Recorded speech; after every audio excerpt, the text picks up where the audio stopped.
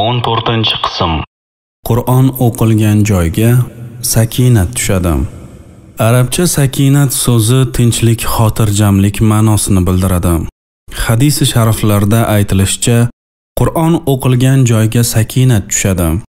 Qori atrofini farishtalar o'rab oladi.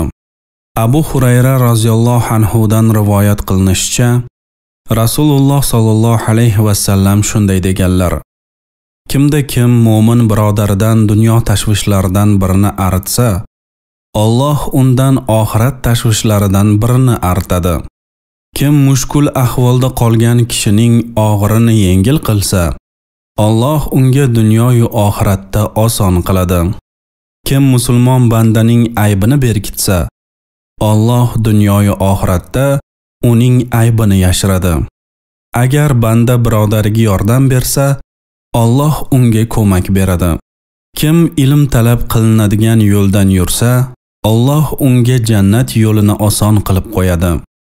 Agar bir guruh odamlar Allohning uylaridan birida yig'ilib, kalomullohni o'qisalar, uni dars qilib o'rgansalar, ustilariga sakinat tushadi. Ularni rahmat o'rab oladi. Farishtalar qanotlari bilan o'rab oladilar. Alloh ularni o'z dargohidagilar qoshida eslaydi. Kimni amali orqaga tortsa, nasabi oldinga surolmaydi. Biz bu hadisning mavzuyimizga tegishli qismini biroz sharhlaymiz. Qur'onni dars qilish deganda harflarni to'g'ri talaffuz qilish, Qur'on ma'nolarini, hukmlarini o'rganish tushuniladi. Alloh dargohidagilardan murod payg'ambarlar, farishtalardir. Allohning bandani eslashi, u zotning bandaga maqtov aytishi, gunohlarini kechirishi, yarlaqashidir. Qur'on o'qigan, Qur'on o'rgangan kishi Allohning rahmatiga erishadi. Alloh kalomini xulusi niyat bilan tilovat qilgan inson ustiga tinchlik, xotirjamlik tushiradi. Qori qalbiga xotirjamlik inadi. Qiroat barakasidan yomon o'y xayollardan yiroq bo'ladi. Odamlar ko'ngil xotirjamligiga erishish uchun boyliklarni ayamay sarflaydilar. Dang'illama uylar quradilar.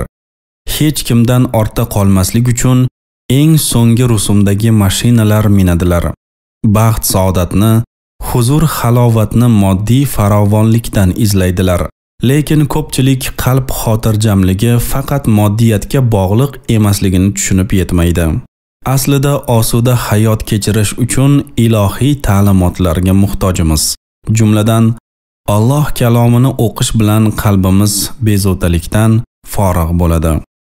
Qur'on o'qisak, shahvatlarga mutelikdan qutulamiz.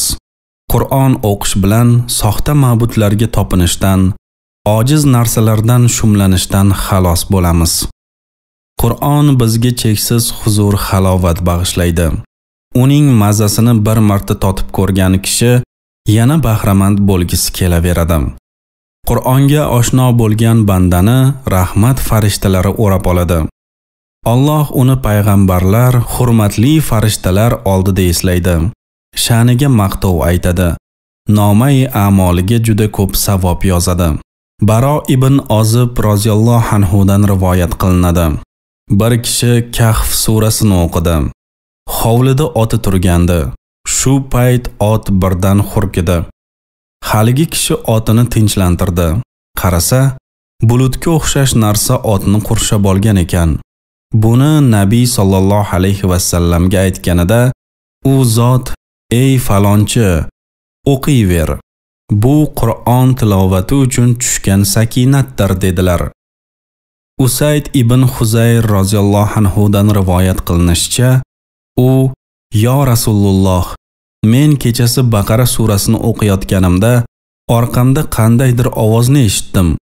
Otim yechilib ketgan bo'lsa kerak deb o'yladim" dedi. Shunda Rasululloh sallallohu alayhi va sallam: "Ey Abu Atik, o'qiyver" dedilar. E'tibor bersam, osmon bilan yer o'rtasida yoyilgan chiroqqa o'xshash narsa ekan. O'qiyver ey Abu Atik. Yo Rasululloh, men qiroatni davom ettira olmadim. Bu Baqara o'qiganing uchun tushgan sakinatdir.